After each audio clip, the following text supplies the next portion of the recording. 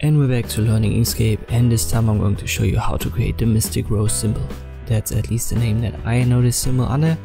Let us create a circle first with the ellipse tool, hold control when you drag it, give it a stroke, no fill, so hold shift and click on your basic color swatches to give it a stroke, then click on the X to get rid of the fill. Under object, fill and stroke you can adjust the width. I use 1mm in this case, that works. Now create a little circle, give it a fill and no stroke. So hold shift and click on the X to get rid of the stroke and add maybe a black color swatch. We want to have the snapping enabled and also the snapping to the rotation center and the center of the object. If you've got it to the center you can drag it upwards while holding control, but it doesn't snap to the circle we also have to have the snap smooth nodes active, so this icon right here, and now it snaps. It's in the correct position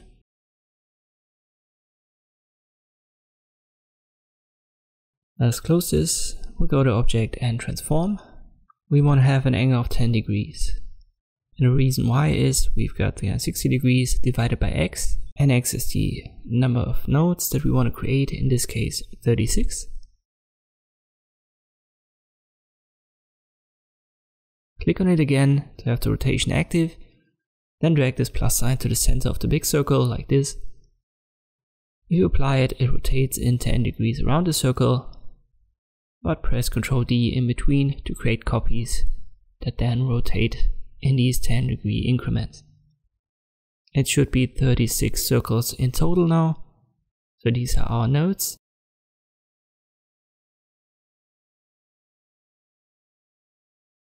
And all we have to do now is to use the Bezier tool and connect them with a single line. So left click on the center here, then left click on the next one.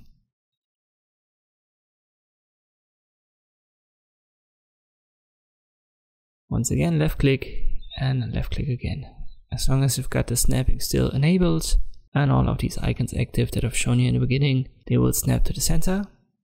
You can deselect temporarily these lines if you simply right click. So I left click and left click again and then I right click and I can start a new line. You have to connect all of them. So let me speed up this video a little bit.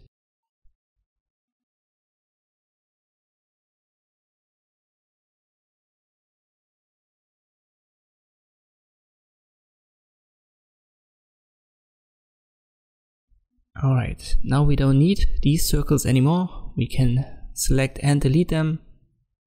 We can do so one by one.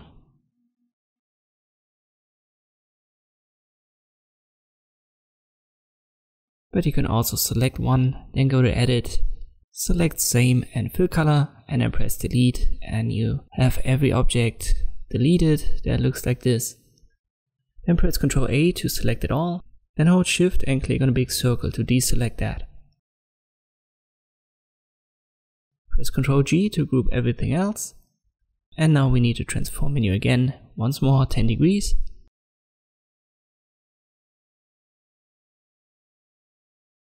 Press Ctrl D and apply it. I've seen this symbol with different colors. So if you want to add different colors after you've pressed Ctrl D and rotated it, Hold shift and click on the color swatch down below to give every of these group line objects a different color. But I want to stick to black color here.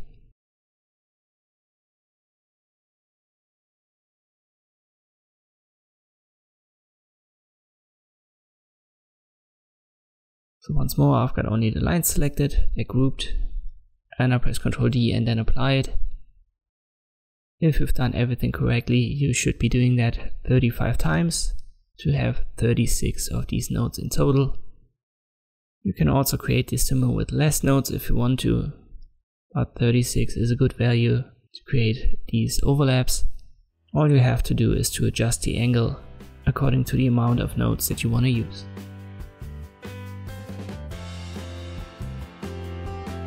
And this is how you can create this Mystic Rose symbol in Inkscape. Thanks for watching and I'll see you next time.